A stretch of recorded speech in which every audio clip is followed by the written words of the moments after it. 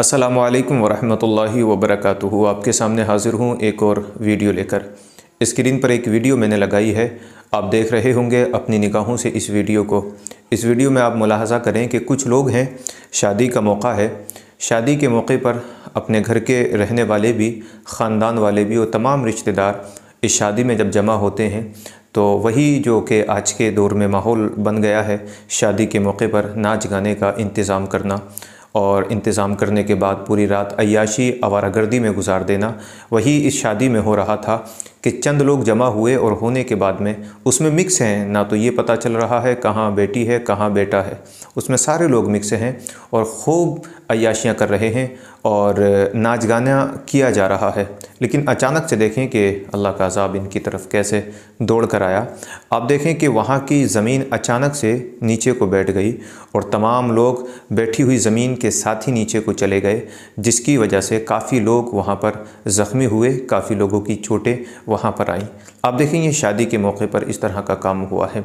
अजीज़ा ने गिरामी वक़ार अक्सर ओलमा आपको बार बार ये चीज़ें समझाते हैं और समझाने का काम है, हमारी ड्यूटी है समझाना।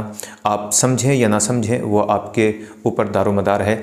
लेकिन अजीज़ा ने गिरामी वक़ार इस चीज़ को याद रखें कि जब शादी का मौका आए और ये निकाह का जब मौका आए तो वो काम करने की कोशिश किया करें कि जिन कामों से अल्लाह और उसका रसूल राज़ी हो, अल्लाह और उसके रसूल की खुशी भी हमारी शादी में शामिल हो जाएँ।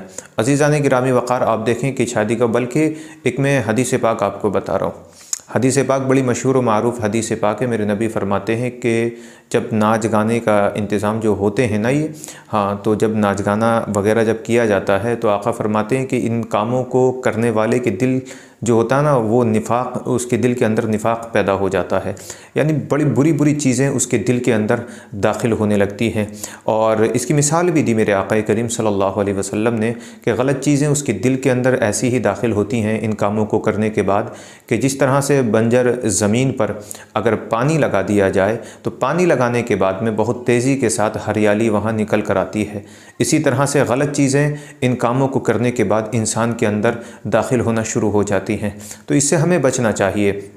और एक चीज़ और याद रखें कि शादी का जब मौका आता है तो हम इस शादी के मौके पर ये देखते हैं कि हम ये चाहते हैं कि हमारे मामू भी शादी में शामिल हों। जो लोग नाराज़ होते हैं ना कभी कभी आपने देखा होगा कि शादी के मौके पर चाचा जान या मामा जान या खाला जान, ये ये लोग अक्सर नाराज़ हो जाते हैं शादी के मौके पर। तो इनको मनाने के लिए हम जाते हैं। रीज़न हमारा सिर्फ़ इतना होता है कि हमारी खुशियों में ये लोग भी शामिल हो जाएँ तो अच्छा रहेगा और ख़ुशी हमारी शादी की बढ़ जाएगी। हम सबको राज़ी कर लेते हैं, लेकिन कभी हम अपनी शादी के अंदर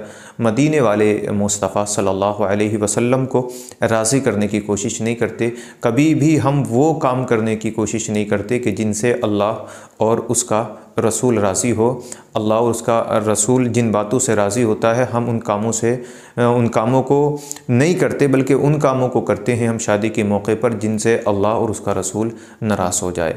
तो आपसे पुरखलूस गुजारिश है अजीज़ान ग्रामी वक़ार के शादी का जब मौका आए तो शरीयत मतहरा पर अमल करते हुए शरीयत के दायरे में रहकर अपने निकाह करें और शरीयत के दायरे में रहकर शादी करें।